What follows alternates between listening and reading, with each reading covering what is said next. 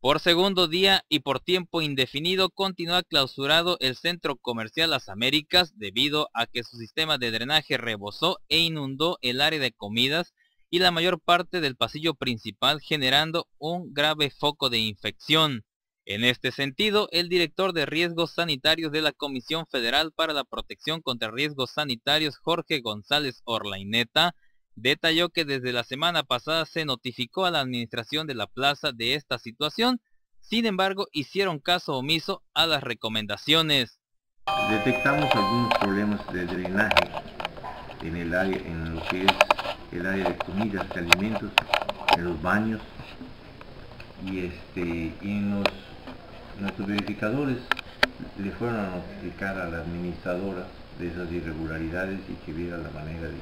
de corregir. Sin embargo, en un momento dado se,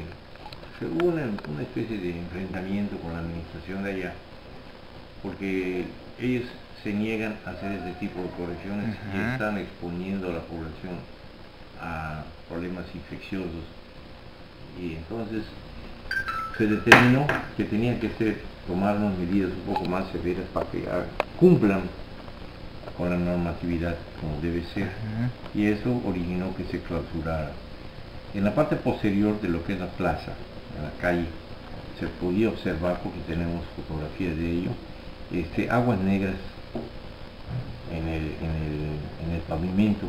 con un drenaje obstruido, en un recorrido por esta zona comercial se pudo constatar que los accesos principales se encuentran sellados por parte de la Cofepris y solo algunos locales como Vips y Vancomer están funcionando normalmente. Mientras tanto en la parte posterior de la Plaza Las Américas se puede apreciar personal de limpieza de fosas, albañiles rompiendo el drenaje y trabajadores del lugar que supervisan las acciones.